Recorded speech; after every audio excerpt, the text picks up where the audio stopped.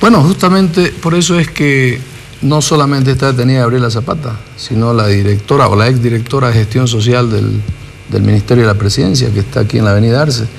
Eh, solo funciona esa unidad y en esa unidad ella era muy amiga y ella había autorizado su ingreso y ella es una de las responsables que el sistema de seguridad eh, ya no la registra directamente entraba, como usted dice, como Pedro por su casa.